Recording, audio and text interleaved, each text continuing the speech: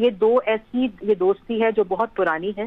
ये दो दोस्तों के दरमियान पर्सनल कैपेसिटी के अंदर दोस्ती थी। बिज़नेस से ताल्लुक है उनका और इसको एक इस तरह का रंग दे देना कि जी, ये कोई बैक चैनल डिप्लोमेसी हो रही है। वज़ीर आज़म पाकिस्तान मेरे ख्याल में ये हक रखते हैं कि अगर इस तरह की कोई चीज़ वो करें तो वो पाकिस्तान की आवाम के सामने करें। ये बैक डोर डिप्लोमेसी जो होती है, ये ना वज़ीर आज़म ने कभी की है और ना वो करेंगे।